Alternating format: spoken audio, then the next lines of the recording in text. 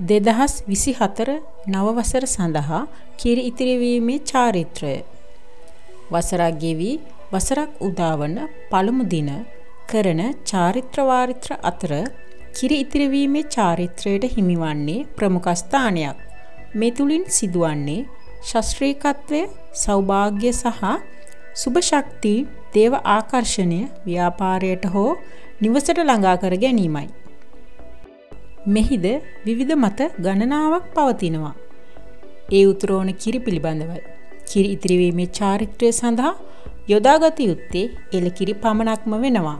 අපිට මේ චාරිත්‍රය ඉන්දියාවෙන් පැමිණි බවට මත පවතින අතර අදද ඉන්දියාවේද එලකිරි ඉතිරිවීම භාවිතය තවමත්ම නොනැසී පවතිනවා. එලකිරි ඉතිරිවීමේදී ඉන් මුසුවන සුගන්ධය සඳහා ශ්‍රියාකාන්තාව නැත්නම් ලක්ෂ්මි දේවිය ප්‍රිය කරන බවට මත පවතිනවා. එලෙසින්ම යහපත් සුගන්ධයට ප්‍රිය කරන දෙවි දේවතාවන් පවා එම ස්ථානයට යහපතක් උදා කරන බවට මත අතීතයේ සිටම පවතිනවා. කොහොම නමුත් පොල්කිරි ඉතිරිවීමටද ඇතැම් ස්ථානවල අදටත් සිදු කරනවා. ඒ ඔවුන් ඒ පිළිබඳව නොදැනුවත්කම සහ අනුවනකම මත හේතුවෙන් පොල්කිරි උතුරුවන්නේ වෙනත් කොට්ටාශවලට බවට ඔබ දන්නවා නම් මෙය සිදු කරන්නේ නැහැ. එම නිසා මෙම චාරිත්‍රය ආරම්භක වකවානුවේ සිටම භාවිතා කළ එලකිරි යොදා ගැනීම ඉතාම යහපත්. කිරි ඉතිරිවීමේදී මේ පිළිබඳව ඔබ ඉතාමත්ම දැනුවත් වන්න. මේ සඳහා සෑම විටම නැවුම් මුට්ටියක් භාවිතා කරන්න. ලිප දහනය සඳහා සුඳුහඳුන් දර සැවන්දරා මුල් කුරුඳු දර හඳුන් කූරු කපුරු හෝ සිංහල බෙහෙත් වෙළඳසැලකින් ලබාගත් ඖෂධීය දහන ද්‍රව්‍ය භාවිතා කරන්න. කිසිදු විටක භූමිතෙල් හෝ පොල්කටු භාවිතා නොකරන්න. මොකද මේ හේතුවෙන් අධික දහනය සිදුවීම හේතු කොටගෙන අනතුරු සිදුවීම හා භූමිතෙල් දහනයේදී සිදුවන දුර්ගන්ධය හේතු කොටගෙන අප බලාපොරොත්තු වන්නා වූ සුගන්ධය එහෙම නැත්නම් මේ චාරිත්‍රයේ නියම කාරණාව ඉටු නොවීමයි. වටිනාම කාර්ය වන්නේ මේ කිරි ඉතිරීමේදී සෞභාග්‍ය ශාස්ත්‍රීයත්වය.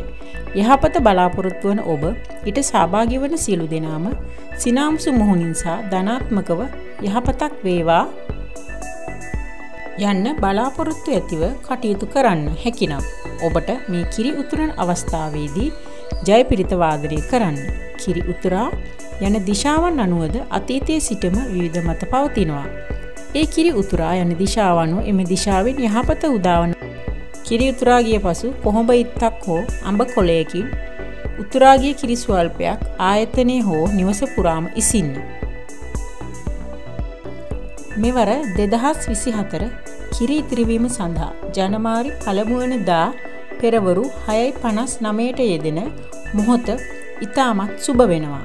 රාජකාරි මට්ටමේ ප්‍රායෝගික කරුණු හේතුවෙන් අමතරව දහයයි විසිහත නැකතද ඔබට යොදාගත හැකි වෙනවා. සුබ දිශාව වන්නේ දකුණු දිශාවයි. මෙදින රාහු කාලය පෙරවරු හතයි හතලිස් නමේ සිට නමයයි දා හත දක්වා යෙදී ඇති බැවි මෙම කාල පරාසයන් යොදා නොගන්නට කියන කරුණද ඔබට මතක් කර සිටිනවා. මෙම කරුණු ඔබට ගෙනාවේ ජෝතිස හා වස්තු විද්‍යා උපදේශක කළුතර සංජීව කුමාර රංගල මහතාගේ අධීක්ෂණය යටතී. ලබන්නා වූ දෙදහස් විසිහතර නවවසර ඔබ සැමට සාමය සතුට සෞභාග්‍ය සපිරි සියලු යහපැතුම් ඉටුවන වාසනාවන්ත සුභ නව වසරක්ම වේවා.